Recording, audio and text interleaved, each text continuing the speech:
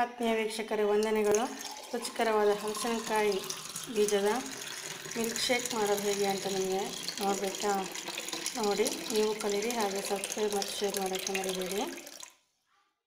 ಹಲಸಿನಕಾಯಿ ಬೀಜವನ್ನು ಸ್ವಲ್ಪ ನೀರು ಹಾಕ್ಕೊಂಡು ಚೆನ್ನಾಗಿ ಬೇಯಿಸ್ಕೊಳ್ಳಿ. ಮೃದುವಾಗಿ ಅದು ಬೇಯಬೇಕು. ಇದಕ್ಕೆ ಉಪ್ಪೇನು ಹಾಕೋಷ್ಟಿಲ್ಲ ಹಾಗೆ ಬೇಯಿಸ್ಕೊಳ್ಳಿ. ಚೆನ್ನಾಗಿ ಬೆಂದಿರುವಂತಹ ಹಲಸಿನ ಬೀಜ. ನಾನಿಲ್ಲಿ ಐದು ಹಲಸಿನ ಬೀಜನ ತಗೊಂಡಿದ್ದೀನಿ.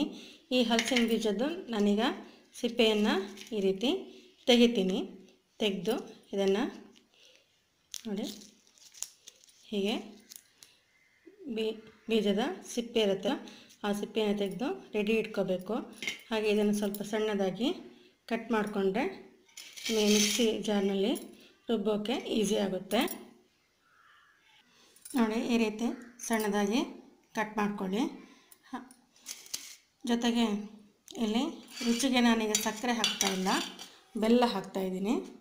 ಹಾಗೆ ಏಲಕ್ಕಿ ಒಂದು ಟೀ ಸ್ಪೂನ್ ನಾನೀಗ ಎರಡು ಲೋಟ ಮಿಲ್ಕ್ ಶೇಕನ್ನು ಮಾಡ್ತಿದ್ದೀನಿ. ಅದ ಕಾರಣ ಈಗ ನಾನು ರುಬ್ಬುವಾಗ ಒಂದು ಲೋಟ ಹಾಲನ್ನು ಹಾಕ್ಕೊಂಡು ಚೆನ್ನಾಗಿ ಬ್ಲೆಂಡ್ ಮಾಡ್ಕೊತೀನಿ. ನೀವು ಎಷ್ಟು ಲೋಟ ಬೇಕೋ ಅಷ್ಟು ಲೋಟ ಹಾಲನ್ನು ಆಮೇಲೆ ಸೇರಿಸ್ಕೊಂಡ್ರಾಯ್ತು ನಾನೀಗ ಒಂದು ಲೋಟ ಹಾಲು ಹಾಕಿ ರುಬ್ಕೋತೀನಿ ಇದನ್ನು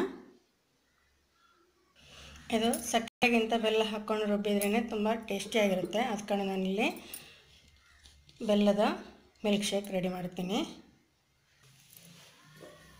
ಈಗ ಇದನ್ನು ಪಾತ್ರೆಗೆ ಹಾಕ್ಕೊಳ್ಳೋಣ